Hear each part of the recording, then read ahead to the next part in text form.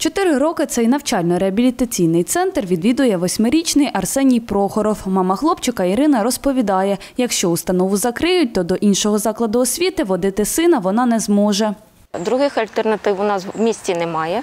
Возити його в інші міста я не можу. Спецзаклад тим паче. Тобто це порушується права дитини моєї. У Вікторії Омельченко тут освітні послуги отримують двоє восьмирічних доньок. Зі слів жінки, інклюзивна освіта їм не підходить. Вони зможуть ходити, але я розумію, що їх дітки інші будуть, е, ну як, як говорять, будуть гнобити. Е, В цьому закладі е, є такі спеціалісти, як психологи, логопеди, дефектологи. Вони навчають дітей, щоб вони пристосовувалися до звичайного життя. Зі слів голови батьківського комітету Олега Буня, такий центр в Чигиринському районі один. Якщо його реформують, то надавати послуги, як раніше, викладачі не зможуть. Я більш ніж впевнений, що надавати ті послуги, які зараз надаються моїй дитині при фінансуванні з міського бюджету, е, точно не зможуть. Е, Чому? Тому що, повторюсь, бюджет наш міський обмежений. Е, І утримувати спеціалістів такого рівня міська рада не зможе.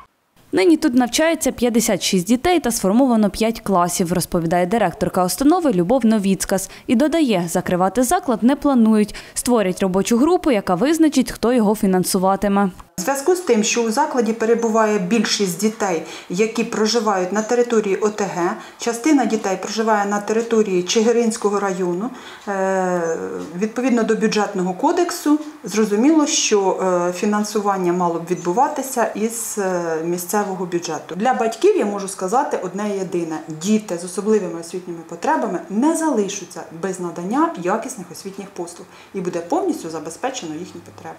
Для повноцінного функціонування центру необхідно щороку 13 мільйонів гривень, розповідає начальник відділу освіти Чигиринської міськради Віталій Синяков. Таких грошей, каже, вони не мають.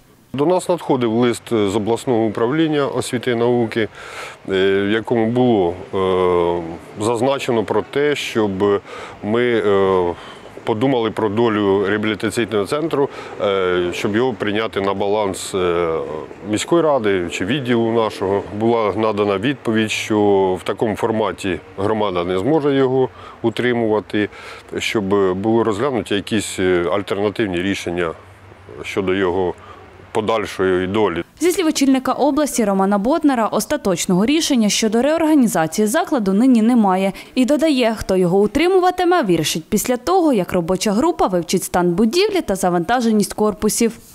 Йде зараз обговорення взагалі різних форматів, проєктних ідей.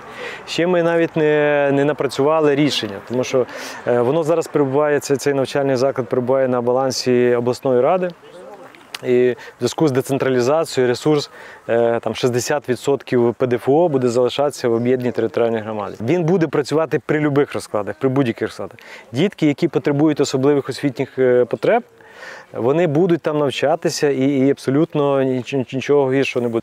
Зараз цей навчально-реабілітаційний центр діти не відвідують. Із 12 березня вони перебувають на карантині, додала Любов Новіцкас. Дар'я Шевченко, Максим Шевченко. Новини на Суспільному. Черкащина.